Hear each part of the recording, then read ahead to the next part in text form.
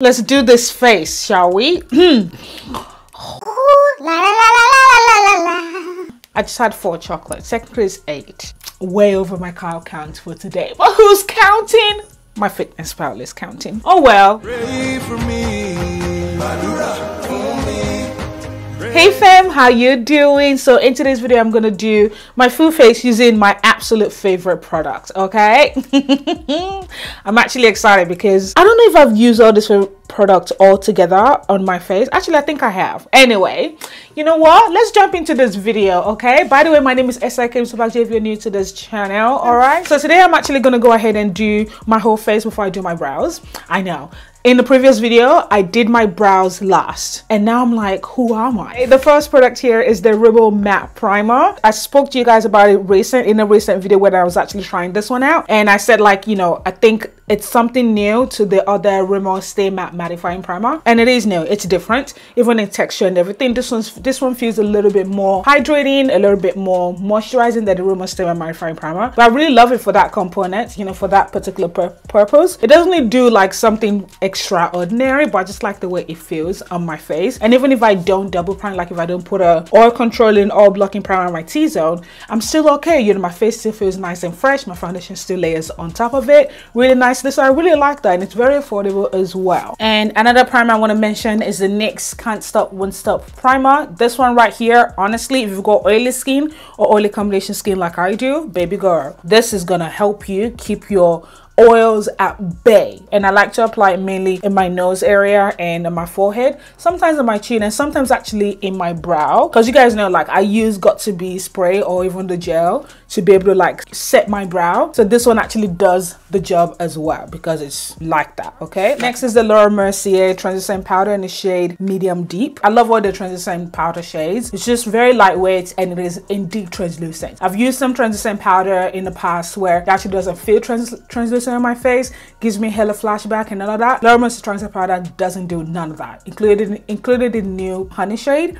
And I like medium deep, especially to set my primer down, especially that Rimmel primer. I'm just gonna put spray sparingly on top of that NYX Can't Stop Stop because it doesn't really need it. But on the Rimmel primer, good. Like if I use the Rimmel primer on my nose and whatnot, this is good, you know? By the way, I'm trying something new with my lighting. I'm filming this around 11.15, which it's so funny. Like every time I sit down to film and I look at the time, it's literally 11.15. Right now, it's literally 11.15 and 48 seconds as we speak. Do you see this? So crazy. Next, we're gonna go in with foundation. Do you know what this is already? If you've been watching me for a little bit. this is the KVD Vegan Beauty True Portrait Foundation, all right?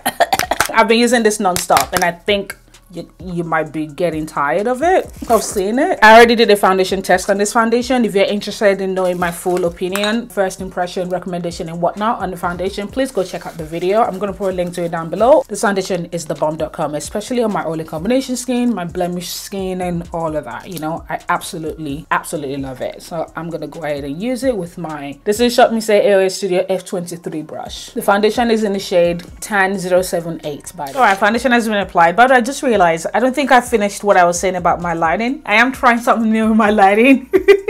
I'm using combination of daylight and my studio lights and my ring lights. So I'm just trying to see. I kind of like the color because I feel like my video is always looking very bright and I feel like my skin tone can get a little bit lost in the light after time. So I'm just testing this one. I don't know. Let me know what you think, especially comparing it to my last videos. So next, concealer that I absolutely love. I ran out of it. It's the L'Oreal Infallible Modern Concealer Concealer and I use the shade 338 Honey. I haven't repurchased that yet. Every time I finish a product that I absolutely like, I try to kind of pace myself and say, okay, maybe I should try other products. But anyway, the next best thing is the Fenty Beauty Pro Filt'r Concealer. I think the first time I tried this concealer, I don't think I was madly in love with it, but I've been reaching for it non-stop. And that says something, you know? It's literally about to finish. I might repurchase it. And it's not like I'm reaching for it because I want to finish it. No, because I have a lot of products that I actually intentionally put aside to use because I just want to get it out, you know. But this one I've been reaching for it because I just, maybe I just like the way it looks, the way it feels and whatnot. All right, next I'm going to use the Fenty Beauty Match Stix in the shade Espresso. This one I absolutely love. I love the shade. I love the application of it. When you first start using it, you might feel like, oh, it's a little bit hard. It's a little bit weird to work with. Just warm it up and whatnot and you're good to go. But after a few use, you get used to it. And look at that. Look at that shade. I love it and it blends really easily you know? Even if i leave it on my face for like 10 minutes and i come back it still blends nicely. Obviously not as like creamy or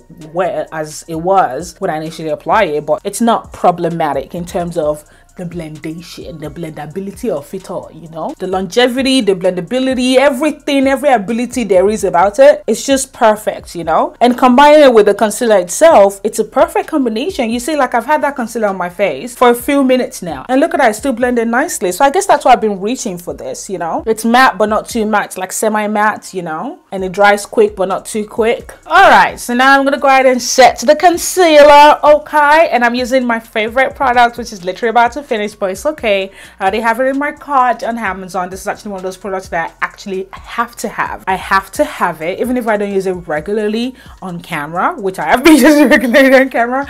I have to have it in my collection or else. Like, I'm just gonna feel like something is missing. Hang on. Oh my god. Dogs, don't they get tired? Anyway, this is the Dermablend Loose Setting is back. This is the Dermablend Loose Setting Powder in a shade Warm Saffron. I want Dermablend to sponsor me. like for real because I love this. Is it the color, the formula, everything makes your face feel instant, instantly smooth or even smoother. Makes like the any terrible concealer you use makes it even better. Trust me on that, okay? Literally. Come on, look how under my eyes, you know? It's literally, I think there's like two more uses out of that and then it's gone. You see, like, I'm not even getting a lot of product because it's literally about to finish. And yet, my face is still looking nice and smooth with it. All right, so now that that has been applied, I'm not to go ahead and set my face. I don't need to set my face. I actually don't need to because the KVD Vegan Beauty Foundation is beautiful. I didn't need to set it, but I wanted to show this product, okay? Especially because it's affordable and also because it's just bomb. And it also reminds me of one of my absolute favorite high-end products the MAC Studio Fix, the MAC Studio Fix powder, that one. I use NW45 with that one, by the way. So this is the NYX Stay Matte But Not Flat Powder Foundation. And this is in the shade Cocoa. Like, it's just beautiful. As you can see, like I've, I, I really, really love it. I've had a lot of uses, you know, I've used it a lot, okay? So, um, yeah, I'm gonna go ahead and use this to just apply on my face, but mainly because I wanted to showcase it. oh, I just realized I didn't blend the contour down here. See, that happens quite a lot. but I really like it. If you don't want to wear makeup, you just want to apply powder on your face, you know, after you apply your primer, of course, if you believe in primer and whatnot. Personally, I do. But if you don't want to wear makeup, just apply this on your face. It has a nice coverage to it. Obviously, it's not full coverage. It's more of a medium, beautiful coverage and whatnot. And it's, it's just beautiful on the skin and it's also long lasting as well. So I really, really like it. Next, we're going to go ahead and bronze. I have two favorite bronzing products here, but I'm only going to use one. The Black Radiance True Complexion Contour Palette in the shade medium to dark. I love this. Like, it's just beautiful. Perfect shade for my skin tone. They also have light to medium and dark to deep or deepest or something like that. But yeah, perfect shade for my skin tone. The formula itself is very, very comparable to my next favorite one, which is the Fenty Beauty. I don't to say the name right. The Fenty Beauty Sun Stalk'r Instant Warmth Bronzer in the shade Mocha Mami. Just like how the CoverGirl Queen Collection Ebony Bronzer, which I love as well, but I'm like choosing to even bring that. But you guys know I really love that. Just like how that one is very comparable to the Fenty Beauty one. Like literally they're almost like the same when it comes to the formula and longevity and all of that and application and all of that. Do you know what I mean? So I love these two products. If you're looking for a bronzer, if you're looking for an affordable one and you can't get your hands on the CoverGirl Queen Collection Ebony Bronzer, especially if you're my skin tone, try this Black Radiance one out. But if you like to go a little bit higher, this Fenty Beauty one I absolutely love. As you can see, that's all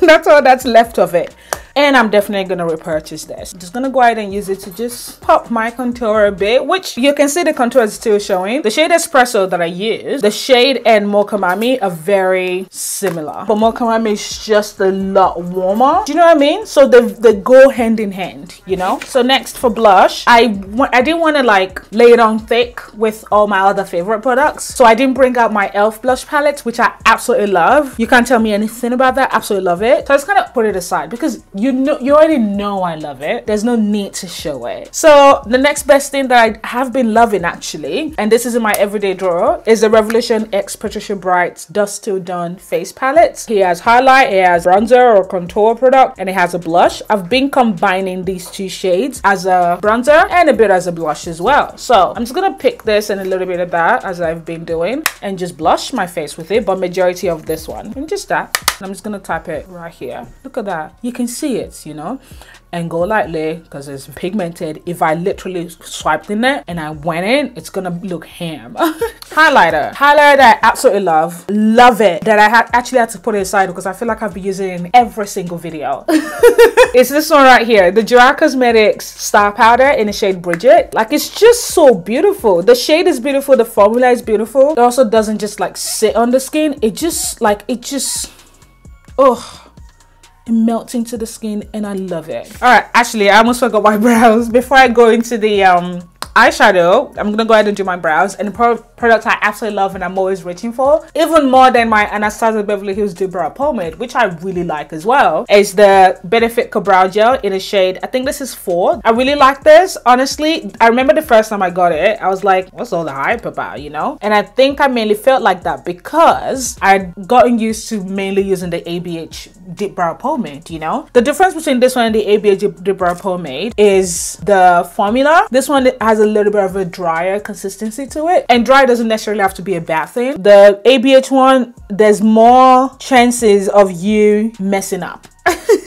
you know? But both products are great. I just reached for this quite a lot because i don't know i think i just like this formula a little bit better. Applying on the skin and whatnot even over foundation even before foundation it just like you can't really mess up. And that's what i like. So anyway let's go into the eyeshadow okay? Brows are done all right? And eyeshadow palette i really love. They're actually by one brand okay? Um i like the patricia bright x makeup revolution one okay? But this one right here or these two and i'm mainly going to use one but i wanted to talk about both i love them and if i was traveling this would be the first products i reach for do you know what i mean if i was going somewhere this is the abh modern renaissance palette i think I've actually done this kind of video before for Face of Favorites. I don't know. But anyway, this is the ABH Modern Renaissance palette. Love it. You know, everything about this palette I absolutely love. But the one that I love even more is the ABH X Jackie Aina palette.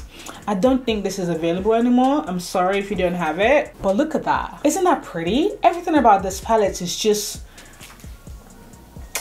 chef's kiss and you can see I've hit pan on a couple of shades. Today let's do a little bit of purple shall we? I'm just gonna go in with this purple shade. It's called big wig. I'm just gonna tap that on my lid. I'm gonna bring that up to my crease. I am going to go ahead and pick up the shade Supreme. Actually should I use pinker? No I'm gonna use pinker instead because it's a little bit deeper you know? I'm just gonna use it to blend out the crease a bit okay? Actually you know what? Let me finally peel the thing off this mirror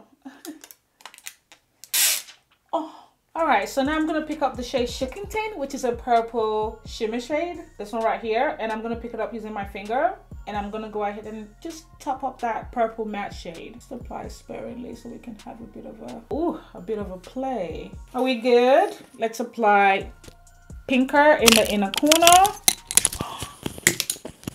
I just realized my mic hasn't been on me this entire time. I am so sorry. Oh my gosh. I'm gonna pick up Supreme, which is that brighter pink shade, and just put that in my inner corner. Now my voice has gone a little low, you know, just oh, I was gonna use pinker as a base first. Oh, that's what happens when you know I'm just gonna mix them both together. I just put it in the inner corner, you know. There we go. And I'm gonna pick up the shade um credit, which is a brown, matte brown shade. I'm using a crease brush. M321 by Morphe, and I'm just blending this in my lower lash line. Oh. Do you know what? Let me pick up the matte purple shade, honestly, and just go to town. Why not? Just mix it. Oh, that's so much better. All right, so I'm gonna line my borderline later on, now I'm just gonna go ahead and apply a wing, or should I just do lashes? Oh, I like that. You know what? Let me do a wing. I'm gonna be using this L'Oreal Flash Cat Eye by Superliner, and I used this in a recent first impression video, and I've loved it ever since. It's more of a brush tip applicator. I'm now a brush tip girl.